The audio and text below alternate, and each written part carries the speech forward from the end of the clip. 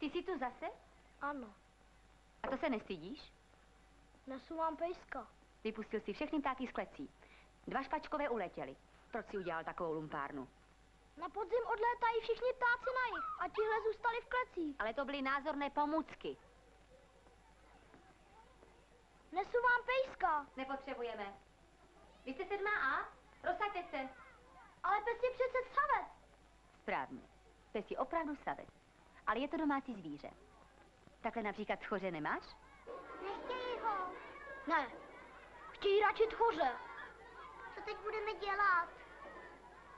Co pak to máme? Svačinu.